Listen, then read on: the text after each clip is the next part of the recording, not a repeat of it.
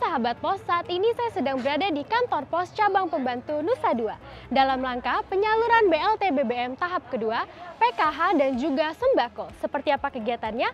Ikuti terus liputan pos update berikut ini.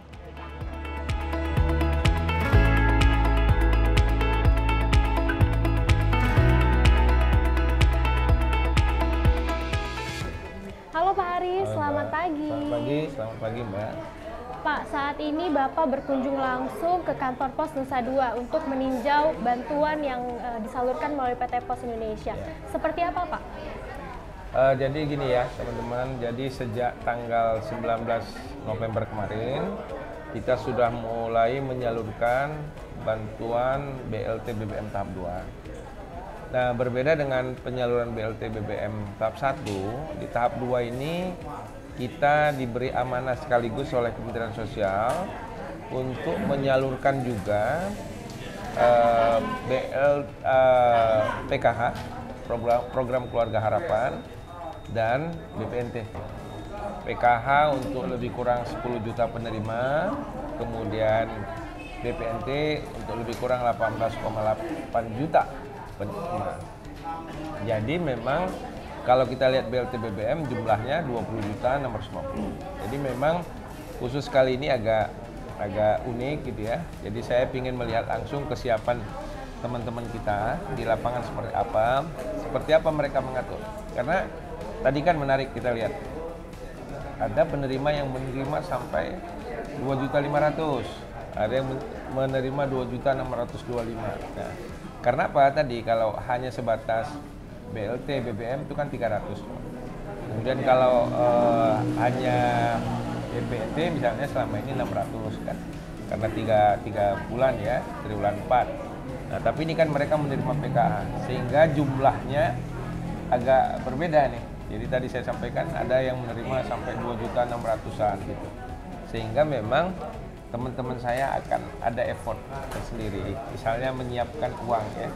Menyiapkan uang, uang receh terutama. Kalau selama ini hanya dalam kelipatan ratusan ribu. Kalau sekarang eh, harus ada yang recehnya. Tapi alhamdulillah di sini saya lihat tadi mereka sudah bungkusin ya. Sudah bungkusin dan sudah ditulis angkanya. Sehingga penerima penerimanya itu cukup menghitung menghitung ulang berapa angkanya gitu ya di depan petugas loket untuk menghindari jangan sampai nanti setelah keluar dari keluar dari kantor ini ada komplain lagi tentang jumlah jumlah besar uangnya ya Baik, Eh, Bapak. Sebelumnya kan kantor pos sendiri menyalurkan satu bantuan. Saat ini menyalurkan tiga bantuan sekaligus. Seperti apa Pak tantangan yang dihadapi?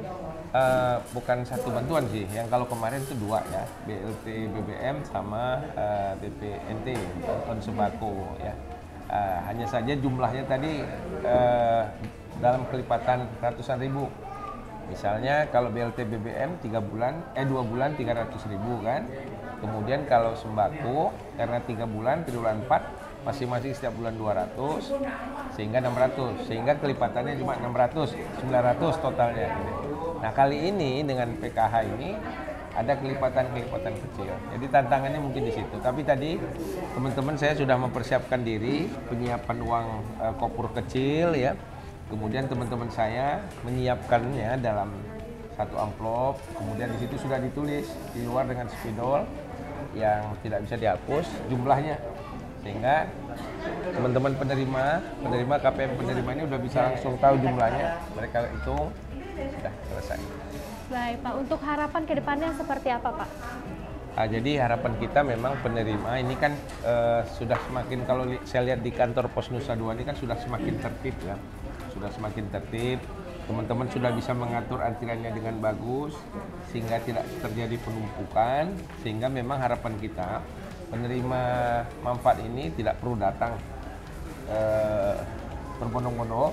Mereka cukup datang sesuai jadwal yang sudah kita sampaikan di undangan kita, sehingga tidak terjadi kerumunan, gitu ya. Kemudian eh, masyarakat lebih dimudahkan lah, karena kenyamanan tidak berdesak-desakan di, di kantor kita ini.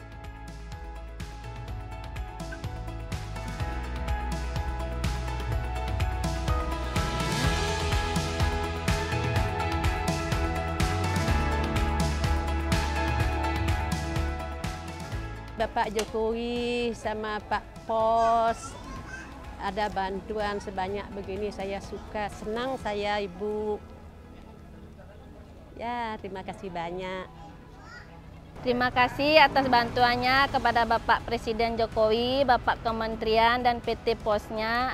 Saya sangat berterima kasih atas bantuannya.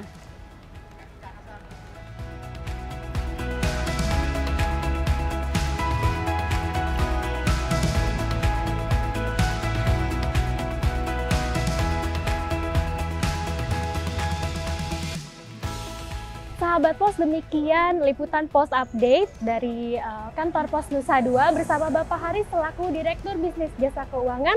Sampai jumpa di liputan Pos Update berikutnya.